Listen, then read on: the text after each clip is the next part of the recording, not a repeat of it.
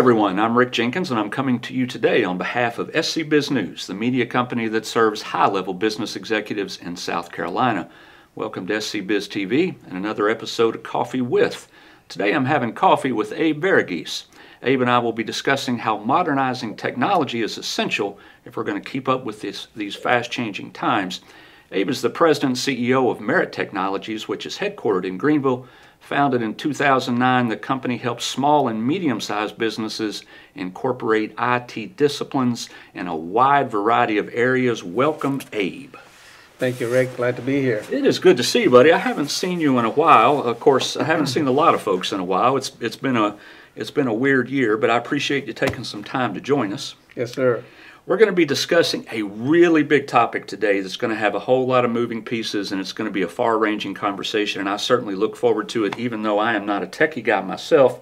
I know you'll set me straight. We're going to be talking about modernizing business technology, which seems to be something that we need to do every daggone day to keep up with things. But before we do that, I want to talk about you. Where are you from and how did you find your way to South Carolina? Well, um, originally, um, I got my degree in computer science in Ohio. Bowling and, Green. Uh, Bowling Green, Ohio. well. Correct. Thank you. That uh, got my undergraduate, and then uh, what brought me to Greenville, South Carolina, was was an IT job. And then along the way, I picked up an MBA from Clemson.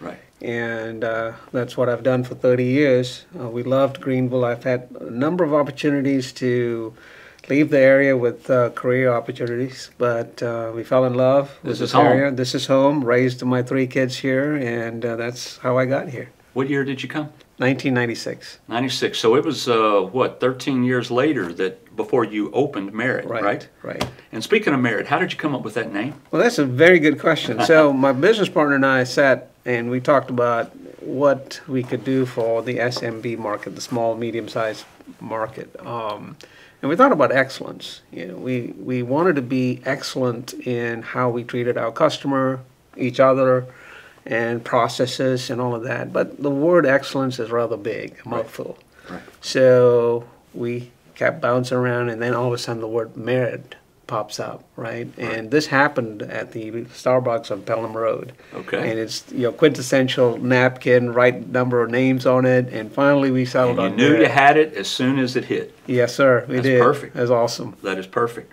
Okay, you all provide a wide array of services, and I want to get into that. You're an MSP.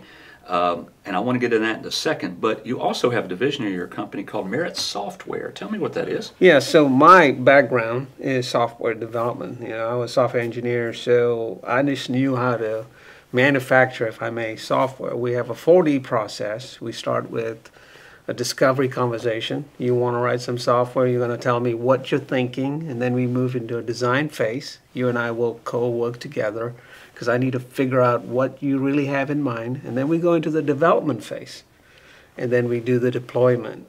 And so Merit primarily does, Merit Software primarily does uh, LAMP stack, which is a lot of PHP work, uh, web-based application. We do a lot of mobile applications as well. And we do some .NET, which is the Microsoft's platform. Mm-hmm. But uh, this allows us to offer full services to our, our customer base. Got it. Also, as a uh, managed service provider, you offer basically anything. As a matter of fact, somebody told me not too long ago that you all are the Green Beret of IT companies in South Carolina, which is great. I love to hear that. Um, so you you guys can do everything from cloud migration to offering CIO services, right? But give us that brief rundown sure. of well, we would like to think that we can offer everything, right? Yeah. But uh, truth is that we offer a lot of things. Got it. You know, and so the whole concept here is if you're a small business, the complexities of technology today outweigh the cost. You're just not going to be able to hire all the folks in house. That's where Merit comes in. So, is it a help desk? Is it help desk for Microsoft products only? Is it help desk for Google? Or do you need disaster recovery planning. What is it that you really need? So we looked at the complete spectrum and we have a VCIO service that comes in and studies your business and then propose the type of technology that best meets your goals and your budget. Right. So we look at ourselves as your one-stop shop. You right. can come to us and we can configure your IT needs from a global perspective of what your needs might be.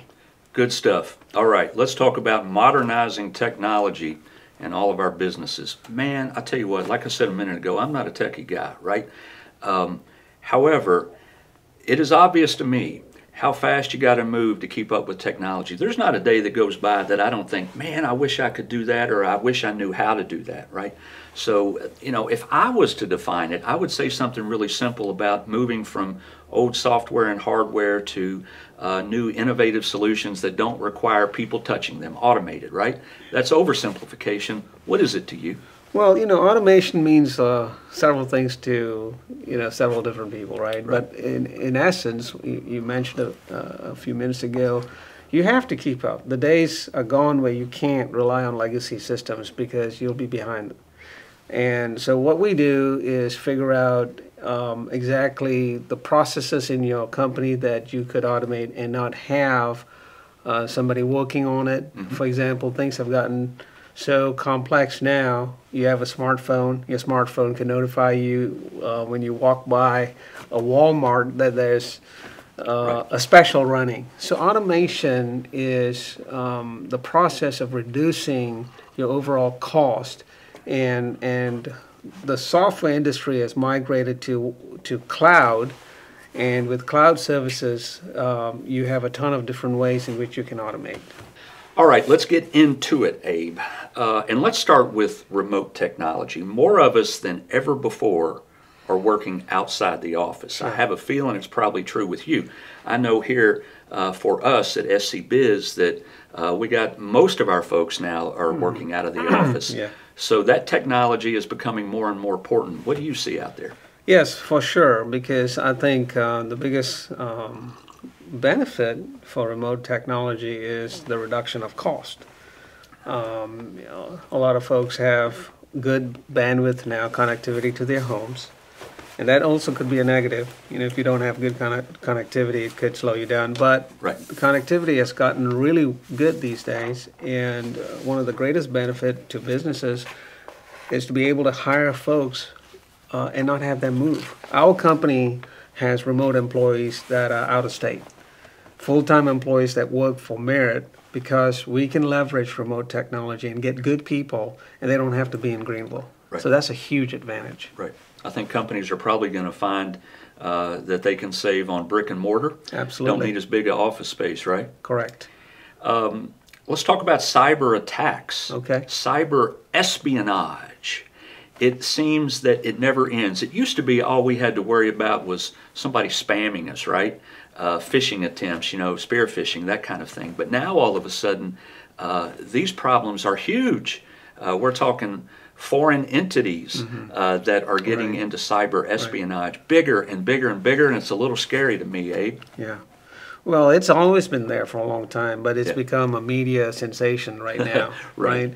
And the other thing that's what we, we do. We sensationalize.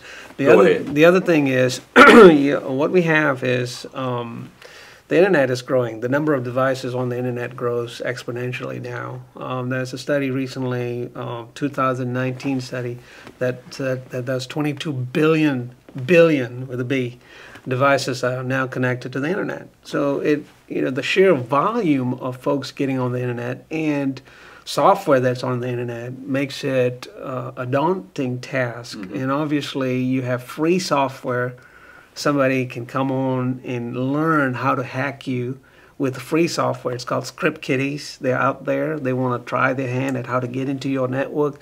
Hundreds and thousands of those folks exist.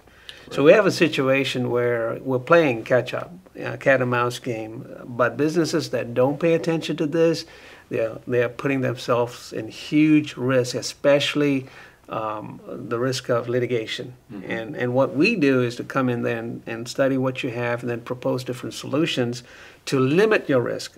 We can never completely get rid of the risk. It exists, but you have to mitigate it and reduce as much as you can. It's, all, it's on employees a lot, right? I yes. mean, they got to do their part. Yes, they do. Education, um, you have to have policies, but you have to educate the employees. Um, and Merit is engaged in doing some of those right now, educating large bodies of employees uh, on what they should do and what they shouldn't do and what to be aware of. Right. Like you might get an email with an attachment and it looks like it came from your president. Yeah. right? You Yeah. click on that attachment, what happens? Yeah. Well, some ransomware gets on your system, and before you know it, it's cost you thousands of dollars to get everything back. Right. So you do have to pay attention to this, and um, and if you don't, it's it's a costly thing. You know, I, you mentioned ransomware. I, I, I read an article here recently that said malware uh, in 2020 increased 358% year over year, and ransomware up 435% year over year. So if I'm thinking about companies that need to mitigate these issues a little bit, I go to small companies and I think, can they afford it? I mean, what can they afford? What can they do that's within their budget?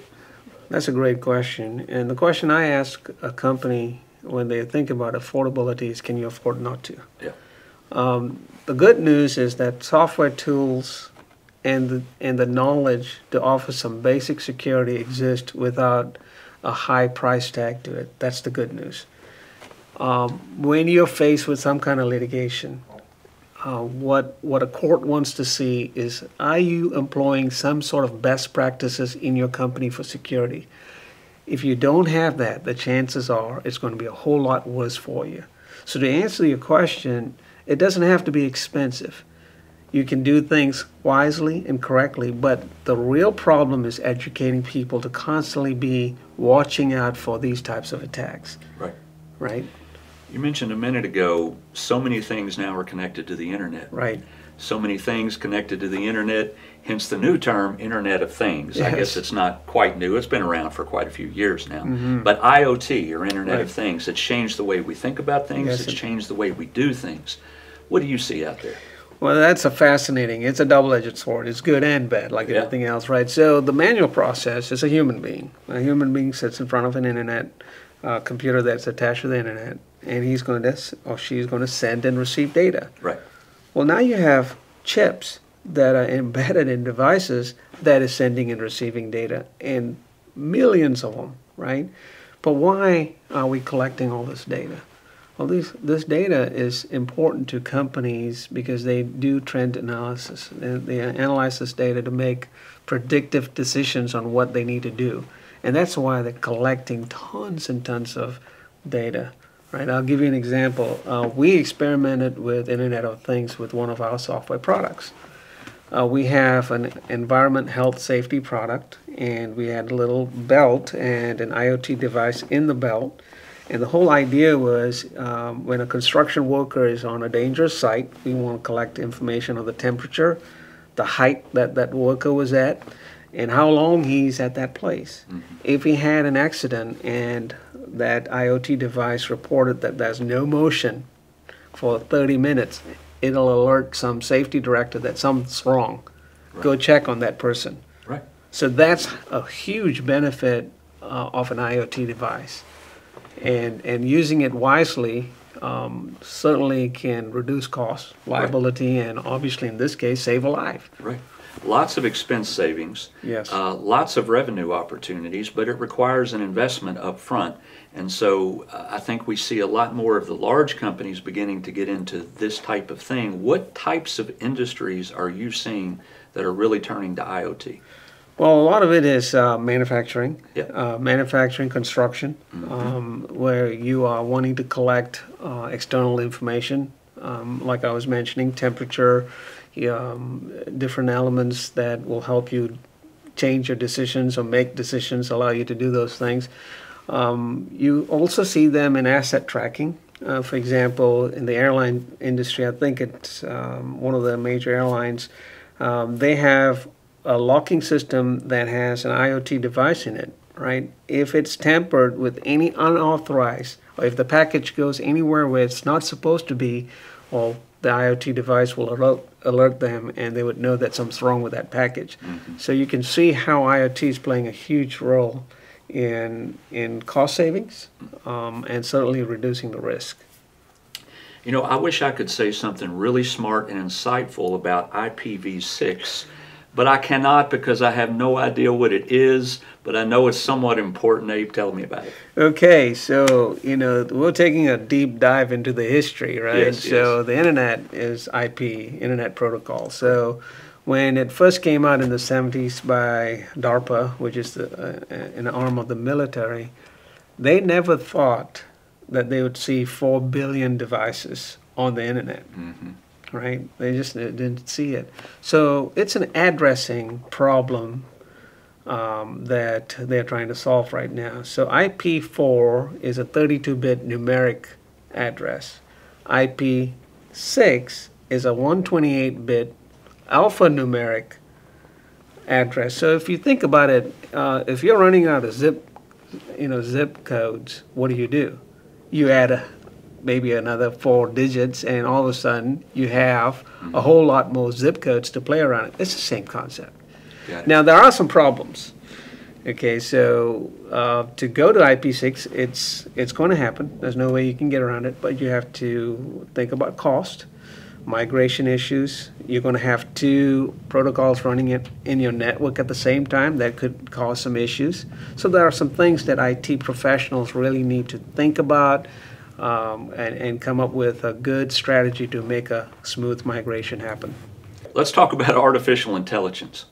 This is becoming big, and of course, uh, you know, we do a whole lot of work in the manufacturing industry, large manufacturing conference that we put on every year, and artificial intelligence has really been growing within that industry.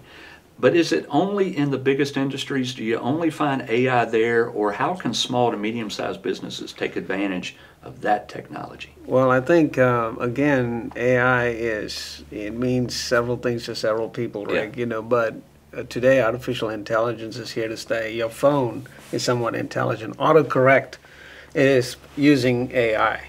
Your phone will try to predict what is the word you're trying to type. So there you have it, right? So of course, small businesses can capitalize on AI. A good example is your websites. Do you have an automatic um, digital assistant um, showing up when somebody new comes to your site and interacting with that human and getting the human the right type of information that they need. That isn't expensive. Right. And it's Yeah, almost, good point. you know, you almost need it. Right. Uh, otherwise, you'll lose connection with that person. But it's not another person on the other side doing it, it's AI doing it. Right, right. That's a good point. I think so often that when I think of AI, I think of something a whole lot bigger and more sinister, but it's not always that kind of thing. That is correct. Okay, Abe, let's move on, and we're moving quickly here because we have so many things I want to talk uh, to Abe about. But let's talk about privacy issues. Um, I think the more technology uh, that exists, the bigger that technology gets, and we're talking things like Big Brother, big data kind of stuff, right? Um, privacy becomes an issue, social Yeah. media privacy Sure. and other things. Sure. Tell me about that. Well, you know, technology is the culprit to erode privacy, Right. right? I mean, let's take your phone, for example. I mean, it's not really a phone, it's a little computer that you're carrying. Well, why should it have a camera? But we're so used to it today, right? Now it's so easy to take a picture, and before you know it, know it, it's online for millions of people to see it. Yeah. So the question isn't uh, really about how do you protect your privacy. Is what is acceptable and what is not. hmm You know, I mean, and as a business, you have to have some policies in place to let your employees know, hey, it's not good to take pictures inside of a business and post it online on your private Facebook. So having policies are very important right now to protect yourself as a business, and that's the perspective that I want to talk about, because so many times people don't realize what they're doing, and they expose business inside secrets unknowingly to the external world, and that could be a huge problem. But we live in this world today. There's no way around it. Um, I don't think that. Um, I mean, it's a bigger topic. I, I think that's that's uh, a topic that needs to be constantly addressed. You know, privacy is it is it loss of privacy or is it how much is good, how much is not good? But it's a very difficult question to answer. You might go to to an uh, event and somebody took your picture and next thing you know it it's on their website it's on linkedin it's on facebook and you meant that to be a private thing you didn't really want the rest of the world to know that you went to that event Right. what do you do at that point Right. What is your, um, you know, discourse in trying to prevent that from happening? There's not a whole lot, right? So, Mm-hmm. So what it- do you do? How do you help people with that? you have to educate them. Mhm. You have to let. Um, unfortunately, um, there is a trend towards accepting the loss of privacy as being okay. You know, and uh, I don't know necessarily if that's a good thing because if it does go into wrong hands, uh, how many times have we heard stories about somebody posting something that they just meant innocently on Facebook and then that ended up them losing their job because it was a liability issue? Well, that's a loss of privacy Right. right? So to deal with it, I think the best way to do it is have policies policies that make sense in your company. Educate your employees, educate yourself, um, and uh, it's a whole lot of education that goes into all of that. Right. Mentioned big data a minute ago, and it's the same thing, right? It, it- Right. It, it's just the expansion on the idea of big data, and, and which basically uh, uh, defines uh, companies, large companies' attempts at gathering as much information Sure. about us as they possibly Right. can. People like Google's, the Right. Googles of the world, Right. right? Really scary stuff. Talk about big data. Uh, yeah, it is Internet of Things, like we mentioned before. Uh, they're constantly watching what you do, where you go. Your smartphone is actually reporting things when you go to a website. It's tracking you, um, and it comes down to uh, they're they're using the the technology today to offer services to you without question. However, it can be detriment to you as well. You know, you might for let's let's talk about politics for a minute, right? Right. You might have you might be a member of a certain party. Well, if you show up and big data is collecting the information about what you do, that could be used against you, right? Right. So I, I, I think that again um, we are in a stage in, in, in technology where uh, it's important to ask questions like should there be some controls? And at what level should these controls be? Because convenience sacrificing certain things for in the name of convenience may not be the best thing for for society you know? So we do need to have laws that protect us from um, basic uh, you, you know erosion of privacy You know, the thing that concerns me and frustrates me most about the big data type of conversation is people are now fed more and more information that only aligns with how they feel about things. Yeah. Right? They go out, they, they're on social media, they search for things, they go to certain internet sites, they read certain types of things, and then all of a sudden this automated machine knows what you like Right, and, right. and and how you think and what you agree with and it just feeds you only that information Right. which i think has created you know even more and we see it in, in politics which you mentioned even created more of a divide because of big data That is true, Rick. And uh, you might go look at a lawnmower, right, online. The next thing you know is you are getting emails with lawnmower ads. right right Now, that's kind of creepy, mm-hmm. right? it is creepy Oh, you might even, I mean, I've had situations where you might have a conversation with somebody about buying something, a conversation. Next thing you go and go online, you see ads popping up about that item that you were talking about. yeah So that's big data working to market stuff at you. Yeah And it's all artificial intelligence. They're tracking everything you're doing to sell to you certain things to make sure that they're in your face with the things that you're interested in. Right. Years ago, George Orwell wrote uh, all about this, Yeah. uh, about Big Brother, which uh, is exactly what we're looking at it now. Uh, let's move on. I want to talk about this, and I've got to look at this because uh, I won't remember it all. I want to talk about software as a service Okay. Versus platform as a service versus infrastructure as a service. Sure. What did I just say? Yes, it's it's cloud computing, right? Okay, I mean, right. it, it is the culmination of the types of cloud computing you can do, right? So we have, uh, we call it SaaS, PaaS, and EAS, right? Got so it. SaaS, software as a service, that is the highest. If you look at a pyramid and you look at cloud computing, SaaS sits on the top, and then PaaS is the middle tier, and ES is the bottom, and I'll explain what that is. SaaS, we do SaaS, we develop SaaS-based application. Well, years ago, when you write software, you got to buy the software. It comes in a package. You basically would install the compiler. You would install uh, the application that allows you to build that software on your PC or on your mini computer. And when you're done, you then would have to package it on a disk or upload it somewhere and somebody else can use that software. Well, when cloud became the mainstay, right, SaaS basically eliminates all of that. All you need is a computer, enough memory, a good connection to the internet, and you can access some of the best software available to you, salesforce.com. Mm-hmm. Merit has produced something called meritehs.com. Uh, PaaS is the same concept, but it's for developers. All right, so it's platform. So again, it's not for the end user, it's for those who write software. Same concept. They don't have to mess with dealing with packages and hardware and all that stuff. It's all virtualized, but they write software, they build it, they compile it, they run it all in the cloud. Mm-hmm. ES, you go lower and you have system administration, system admins, we call them, working on the entire infrastructure that supports the other 2 mm-hmm. In the in the old days, you would have a network engineer go take a big black box, Dell, whatever, and put it on a rack and get his computer hooked up to it, configure it, and create that. All of that is virtualized. Mm-hmm.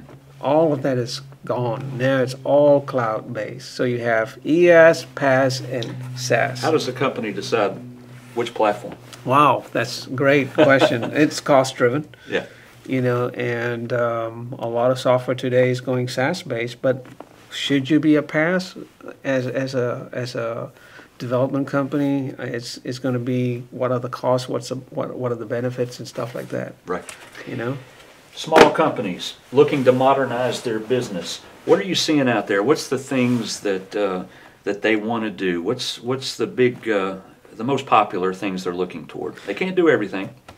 Right. So security is big. You have to pay attention to that. Uh, the three things that Merit does, right? Merit looks at your data for data consistency, data integrity, and data security. So when we consult with a small business, we look at what's your budget, what's your goal, what do you want to automate, and and how to get there, right? right? So is it cloud computing? Right? You don't, you know, do you need to go with Google or do you need to go with Microsoft? Well, that might be many reasons why you might choose Microsoft over Google we help you work through those things. Abe, that is really good information. I appreciate it. We covered a lot of stuff. We did. We did. Appreciate you coming by. Thank you. Folks, that is Abe Varughese. He is the CEO and founder of Merit Technologies, which is located in Greenville, South Carolina, but doing business everywhere. Appreciate you joining us for another episode of Coffee With. Stick around on SC Biz TV for a little while, see if there's anything else you might like. Be sure to like this video and subscribe to our page. We'll see you next time.